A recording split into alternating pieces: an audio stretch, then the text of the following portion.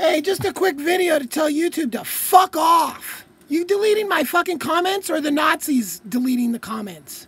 Leave the fucking comments. I'll delete the comments. I can fucking goddamn moderate my own fucking comments section. Thank you very much. Go worry about the motherfucking pedophiles or something, you motherfuckers. Stop fucking deleting my fucking comments. If I want to call fucking Nazis faggots on my fucking channel, I can call Nazis faggots on my fucking channel. Fuck you, YouTube.